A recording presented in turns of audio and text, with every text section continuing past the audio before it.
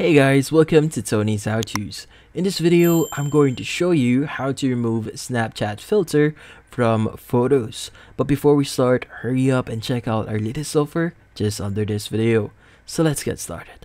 So first thing that we have to do here is we need to open up the Snapchat mobile application. Now from here, we need to go to our previous snap. So just click on the bottom left of your screen. That's your memories. Go ahead and click on it. And from here, you want to look for the snap that you want to remove the Snapchat filter for. So in this case, we have this picture here.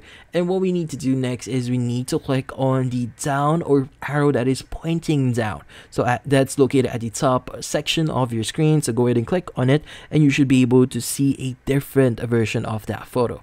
Now in this case, if you added any effects like drawings, you could go ahead and just delete them. And from here, you could go ahead and scroll left and right to see and remove that filter that you just added.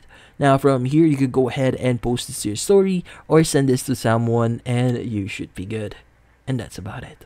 So thank you for watching. If you have any questions, feel free to ask in the comment section. If you enjoyed this video and found it helpful, you could use the link in the description to subscribe. See you in the next video.